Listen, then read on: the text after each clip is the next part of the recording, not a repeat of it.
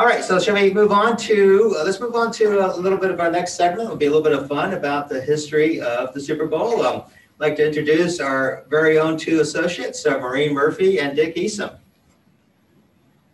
Hello, everyone.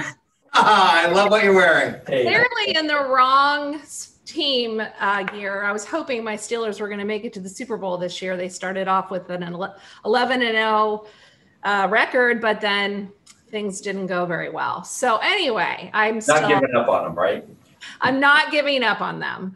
Um, so I'm going to uh, talk about the history of the Super Bowl and share some slides so you don't have to uh, look at me the whole time and just kind of make this fun. And then I'm going to turn it over to Dick and he's going to talk to us about some uh, stamps. So let me get started here. I'm going to share my screen and get my, I always struggle with this. So give me a minute.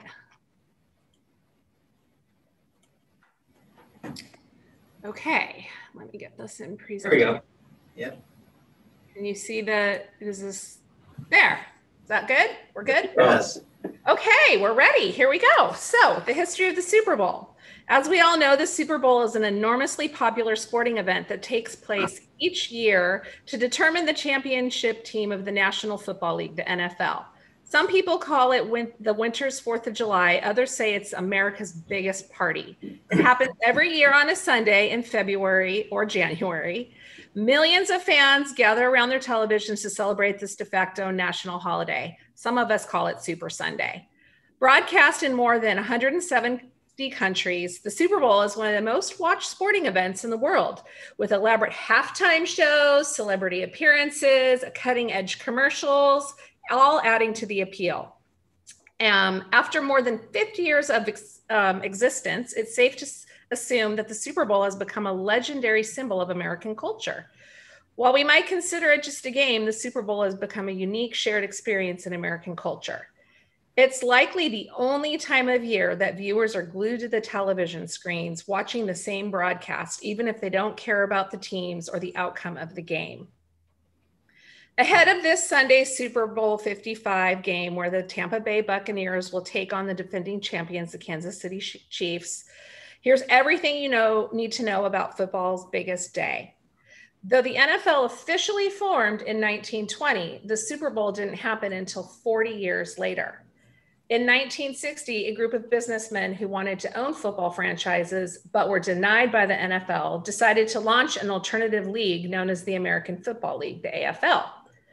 For several years, the NFL and the AFL were rivals. They competed for fans, players, and support. And then in 1966, the owners negotiated an agreement to merge the leagues by 1970.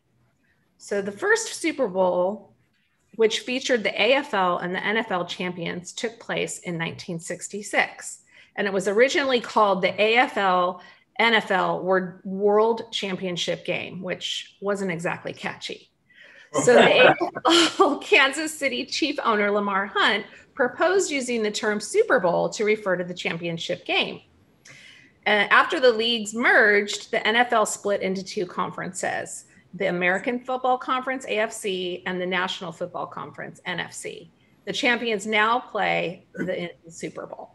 So, the very first, so I'm going to talk about the first four Super Bowls. So, Super Bowl one took place on January 15th, 1967, and it included the NFL's Green Bay Packers against the AFL's Kansas City Chiefs.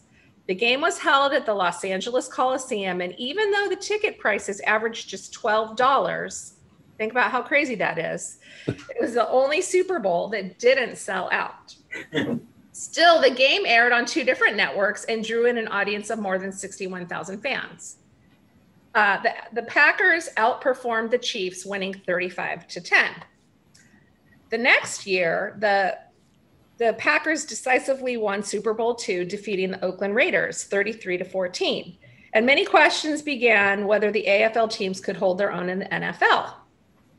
But the next year, but but next year, the AFL's New York Jets, led by the quarterback Joe Namath, defeated the Baltimore Colts in Super Bowl three. Super Bowl four was the last game played between the two leagues, and the AFL's Kansas City Chiefs beat the Minnesota Vikings 23 to 7. The popularity of the event continued to grow after the leagues integrated. So, from the 70s to present, during the 70s, uh, three NFL teams, the Pittsburgh Steelers, my team, the Miami Dolphins, and the uh, Dallas Cowboys dominated the NFL scene and won a combined eight Super Bowls in 10 years. Franchise, fr- franchises from the NFC won 16 of the 20 Super Bowls in the 80s and 90s. Teams like the 49ers, the Chicago Bears, the Redskins, and the New York Giants stood out during these years. The Cow, the Dallas Cowboys resurged in the 90s, and the Buffalo Bills became a powerhouse franchise, although they never won a Super Bowl, infamously losing four title games in a row from 91 to 94.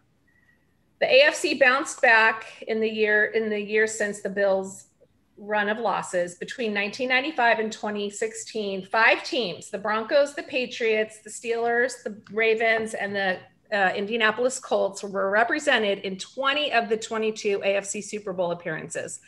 And since 2001, the Patriots have established themselves as a dynasty, with Tom Brady leading them to nine Super Bowl appearances and five wins. And as we all know, this Sunday, Tom Brady is going to the Super Bowl again as the quarterback of the Tampa Bay Buccaneers. Gonna check the pressure? Yeah. and now we're going to talk a little bit about the halftime shows, which, you know, are a big to do. So early in the early days, the Super Bowl featured mostly marching bands from local high schools or colleges during the halftime shows. And obviously, as the years went on, popular musicians began to take the stage and the shows evolved into a much anticipated spectacle. Some viewers consider the halftime show, now a th- full 30 minute act, a bigger event than actual football game, tuning in solely for the musical entertainment. Internationally famed artists such as Michael Jackson, U2, Madonna, Bruce Springsteen, Lady Gaga, Paul McCartney, Prince, Beyonce, Coldplay, to name some, um, this year, we're it's the Weeknd. Um, I don't know if everybody's familiar with him. He's a Canadian uh, singer who does a lot of pop. He's 30 years old. Um, he should put on a great show. And then I am going to end this. Here's our guys, the rivalry, um, with some fun facts about the Super Bowl and I'm only, I think I'm just going to read a, about three. So let's see. The Super Bowl venue changes each year, and no team has ever played in its home stadium. This year will be the first time that that's happened because the, the Buccaneers will be playing at their home stadium. Super Bowl Sunday is the second largest day for food consumption in the United States, with only Thanksgiving ahead of it. So everybody's going to be snacking and eating and just having a great time. And then this is probably one of my favorites.